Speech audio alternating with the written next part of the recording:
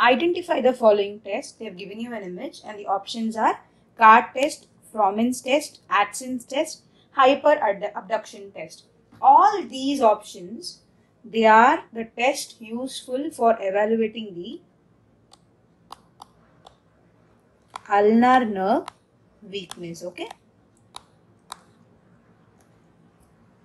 So these features of ulnar nerve weakness, mostly they come under the first thoracic nerve.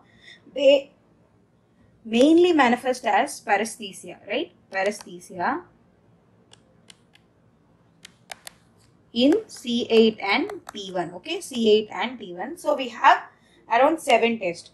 One is card test, Froment's test, Adson's test, Halsted test, military attitude test, Allen's test and elevated arm stress reduction test. Okay. Now, before coming to the uh, one, one, one by one, we will learn the test. Okay. From first the card test. Okay. You will be, the patient will be asked to hold a thin paper or a card in between the fingers. Okay. In case of this ulnar nerve paralysis, your interosseous muscles, okay, there is something called interosseous muscles will get paresthesia uh, weakness okay? Patient will not be able to hold a card tightly right? This is known as card test. Then what is this Froment's test? Fromen test patient is asked to hold a book okay? Hold a book between the finger and the thumb okay? In case of ulnar if there is an ulnar, ulnar nerve paralysis okay? Adductor pollicis okay? Adductor pollicis adductor pollicis is paral paralyzed okay? So what will this cause? This will cause flexion at interphalangeal joint okay? Interphalangeal joint of the thumb okay? This is mainly because the flexor pollicis is there no which is supplied by the median nerve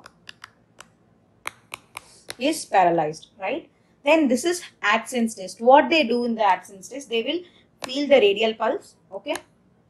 Ask you should ask the patient to take a deep breath. Okay. You should ask the patient to take a deep breath and a deep inspiration and then turn the neck to the same side. Okay.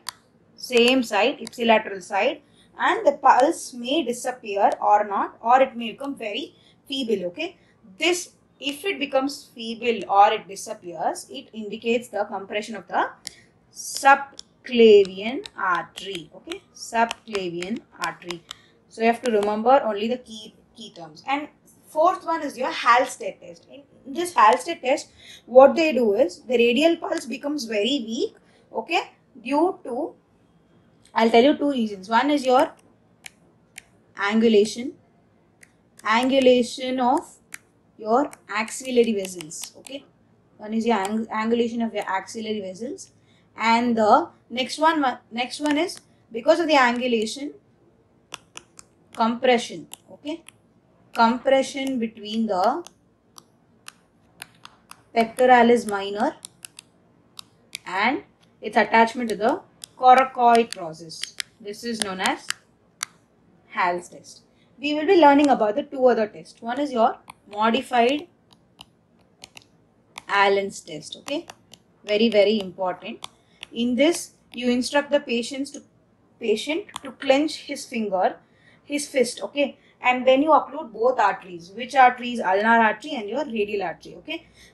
Then you have to allow the patient to unclench his fist again. Then release the ulnar artery.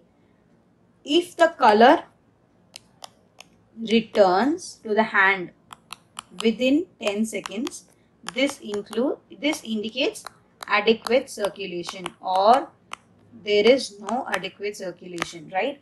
This is only time factor okay? If the color returns within 10 seconds it, it means they have the adequate circulation. And one more thing is your EAST elevated arm stress test okay? What you do in this procedure this is called as modified Roos okay modified Roos test okay in this modified Roos what you do is uh, with the both the arms so you have to uh, tell the patient to keep both arms at 90 degree and abduction and external rotation position. Abduction and external rotation. Okay, rotation position. Patient is asked to make a fist and then you have to repeat the test for 5 minutes.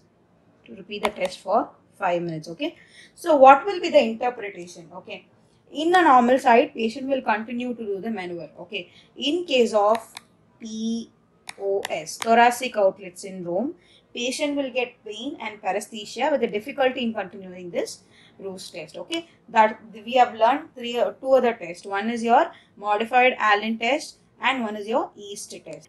Now coming back to the question, see, uh, patient is asked to hold a book, right? In case of ulnar nerve paralysis, I told you two important things you have to remember. One is your adductor pollicis is paralyzed. Adductor pollicis, okay, it is paralyzed. There is a flexion at the distal interphalangeal joint. Huh? And then this is because your flexor pollicis, right? Your flexor pollicis supplied by median nerve contracts. Okay. So the answer for this question is Froment's test. Okay. I hope you got the uh, answer.